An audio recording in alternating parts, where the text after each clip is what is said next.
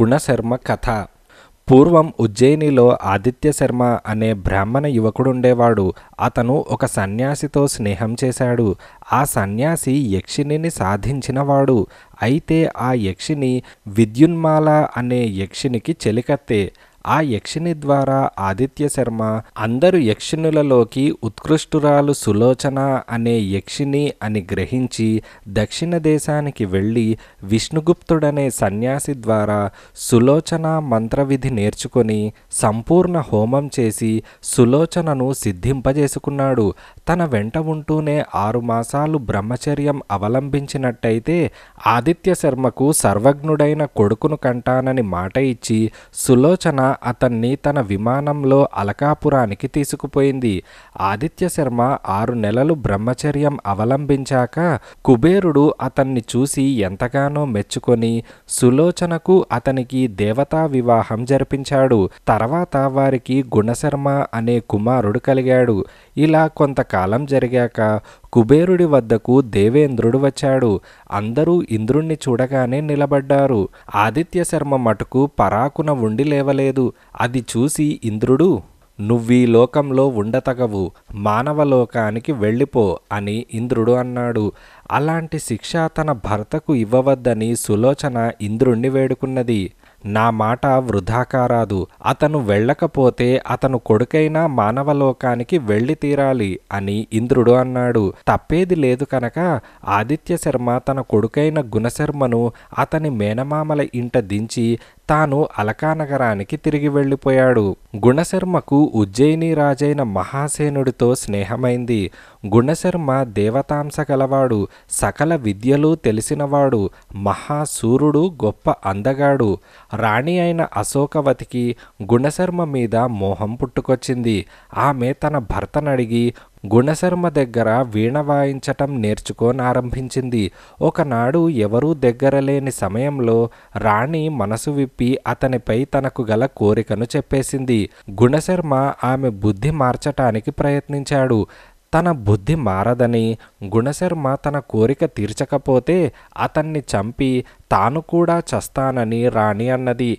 అలా చావటానికి తనకు అభ్యంతరం లేదన్నాడు గుణశర్మ. అప్పటికీ వదలక ఆమె అతన్ని తన కోరిక తీర్చమని కాళ్ళా వేళ్ళా పడింది. తొందర పడవద్దని ఆమె కోరిక తీర్చుతానని గుణశర్మ అబద్ధపు వాగ్దానం చేసి అప్పటికి తప్పించుకున్నాడు.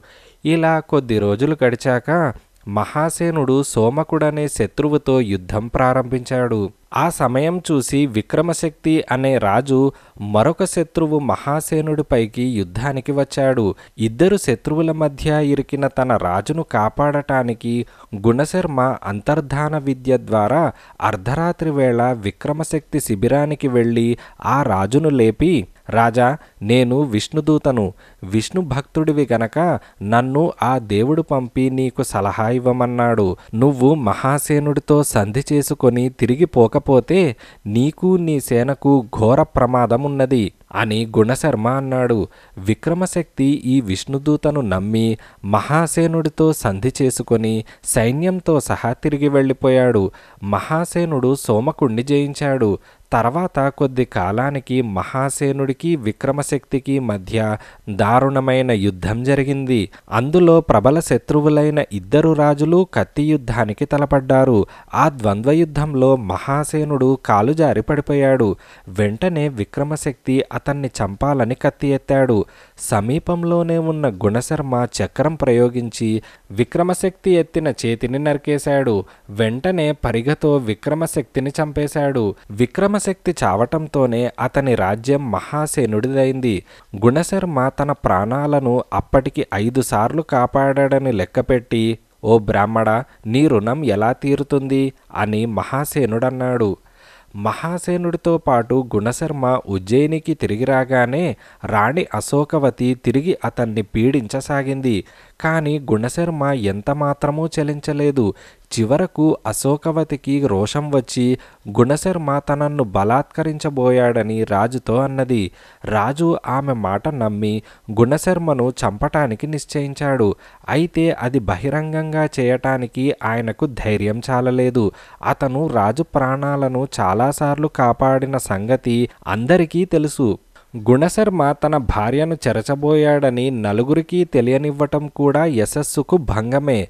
అందుచేత మహాసేనుడు గుణశర్మను యుక్తిగా చంపటానికి నిశ్చయించుకున్నాడు. ఒకనాడు నిండు సభలో రాజు ఈ గుణశర్మ కంటే నాకు ఆప్తులు లేరని ఇతన్ని అందలమెక్కించాను. ఇప్పుడు నా శత్రువైన విక్రమశక్తి తన వేగులవాణ్ణి నాకు వంటవాడుగా పంపి నాకు విషం పెట్టించ ప్రయత్నించాడు. అప్పుడీ గుణశర్మ నన్న విషపు పచ్చడి తినకుండా చేసి నా ప్రాణం కాపాడినట్టు నటించాడు. కానీ అదంతా ఒక నాటకం. ఈ గుణశర్మ నాకు ద్రోహం చేసి విక్రమశక్తి దగ్గర డబ్బు సంపాదించాలని ప్రయత్నించి రాయబారాలు నడిపాడు.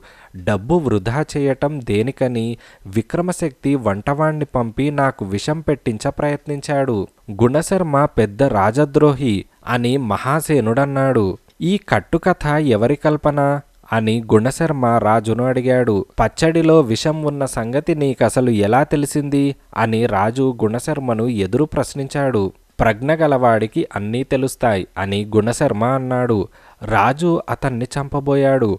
గుణశర్మ తప్పించుకొని తన పైకి వచ్చిన రాజభటులను చంపుతూ అంతర్ధాన విద్యతో అందరి కళ్ళు కప్పి ఉజ్జయిని నుంచి బయటపడి దక్షిణ దేశానికి బయలుదేరాడు. ఒక గ్రామంలో ఒక మర్రి చెట్టు కింద అగ్నిదత్తుడనే బ్రాహ్మడు తన శిష్యుల చేత అధ్యయనం చేస్తున్నాడు. గుణశర్మ అక్కడికి వెళ్ళి ఆ బ్రాహ్మణుడికి నమస్కారం చేశాడు. అగ్నిదత్తుడు గుణశర్మ ద్వారా అతని తండ్రి కథ అతని కథ విని బాబు ఈ గ్రామం నా అగ్రహారమే. మా ఇంటికి రా ఇక్కడ నువ్వు సుఖంగా ఉండవచ్చు అని అగ్నిదత్తుడన్నాడు. అగ్నిదత్తుడు ఇల్లు పుష్కలమైనది. అన్ని సంపదలతో పాటు ఆయనకు సుందరి అనే చక్కని చుక్క అయిన కుమార్తె కూడా ఉన్నది. సుందరిని గుణశర్మ చేసుకుంటే అవునని బ్రాహ్మణుడికి తోచింది. ఆ పిల్ల భవిష్యత్తు ఎలాగుంటుందో సాముద్రికాన్ని బట్టి చెప్పించుకునే మిష మీద ఆమెను ఆ బ్రాహ్మణుడు గుణశర్మకు చూపించాడు. ఆమెను చూసి గుణశర్మ ఈమెకు ముక్కు మీద వక్షం మీద పుట్టుమచ్చలున్నాయి. అందుచేత ఈ పిల్లకు ఉంటారు అని గుణశర్మ అన్నాడు. ఆ మాటలు విని అగ్నిదత్తుడు అదొక అశుభం అనరాదులే. ఎందుకంటే సవతులుంటారంటే సంపన్నుడే దాన్ని చేపడతాడన్నమాట పిల్లల్లో ఇతర అశుభ లక్షణాలేవీ లేవు కదా? అని అగ్నిదత్తుడన్నాడు. సలక్షణమైన పిల్ల అశుభాల మాట లేనే లేదు అని గుణశర్మ అన్నాడు. ఇలా కొన్ని రోజులు గడిచాక అగ్నిదత్తుడు గుణశర్మతో నాయనా మా సుందరిని పెళ్ళాడి ఇక్కడే ఉండిపో వేరే ఏ దేశమో పోవటం దేనికి? అని అగ్నిదత్తుడన్నాడు. అయ్యా అంతకంటే నిజంగా కోరదగినదేముంటుంది? కానీ ఉజ్జయిని రాజు అకారణంగా నాకు చేసిన అన్యాయానికి ఎంత కుమిలిపోతున్నానో మీకు తెలియదు. నేను ఏ సుఖము అనుభవించలేని స్థితిలో ఉన్నాను అని గుణశర్మ అన్నాడు. ఇంత పండితుడివి నువ్వు కూడా ఇలా మాట్లాడతావేమిటి? మూఢుడు చేసిన అవమానం నీలాంటి పవిత్రుణ్ణి అంటుతుందా అని అగ్నిదత్తుడన్నాడు. ఆ మాటలకు గుణశర్మ ఉజ్జయిని ఇక్కడికి దగ్గరలోనే ఉన్నది. ఆ రాజు నాకేదైనా హాని తలపెట్టవచ్చు. నేను తీర్థయాత్రలు చేసుకుంటూ జీవితం ముగిస్తాను అని గుణశర్మ అన్నాడు. శాస్త్రోక్తంగా అగ్నికార్యము పితృకార్యము చేసుకోలేని వాళ్ళకే తీర్థయాత్రలు. నీకోసం చక్కని పాతాళ గృహం కట్టిస్తాను. నా కుమార్తెను పెళ్ళాడి నరమానవుడి కంటపడకుండా అందులో సుఖంగా ఉండు అని అగ్నిదత్తుడన్నాడు. ఆ మాటలకు గుణశర్మ ఈ సుందరిని పెళ్ళాడమంటే వద్దనేవాడుంటాడా? కానీ పెళ్ళి ఇప్పుడు కాదు. నేనే దేవుణ్ణైనా ఆరాధించి కృతజ్ఞుడైన మహాసేనుడికి ప్రాయశ్చిత్తం చేసి ఆ తర్వాత పెళ్ళి చేసుకుంటాను అని గుణశర్మ అన్నాడు. అగ్నిదత్తుడు అతనికి ఒక చక్కని పాతాళ గృహం కట్టించి అందులో గుణశర్మను ప్రవేశపెట్టి తన గురువు ఉపదేశించిన కుమార మంత్రాన్ని అతనికి ఉపదేశించాడు.